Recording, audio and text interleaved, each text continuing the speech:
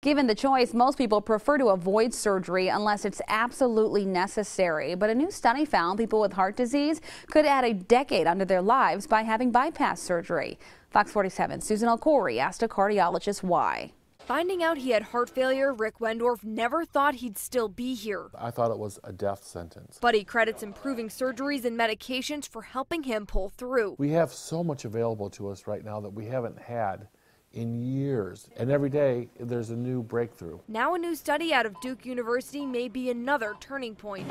Researchers found heart failure patients with clogged arteries had a better chance of living 10 years longer if they had bypass surgery and took medications as opposed to just taking medications. One of the things people don't realize is that heart disease in some cases has a worse survival than cancer. Sparrow cardiologist Ara Pridgeon tells me this study confirms what many doctors thought about bypasses and may lead them to recommend surgery. That has to be weighed against the fact that bypass surgery has a, has a risk. And so once you get over that risk, um, your chances of long-term survival are greater with bypass surgery than they are with medications. Plus, he says the study is credible because it looked at more than 1,200 patients worldwide. The size of the study and the fact that it was randomized makes it a very powerful study. Even though Wendorf isn't a candidate for bypass, he says this study could help more patients make a difficult decision. Life is just a blessing.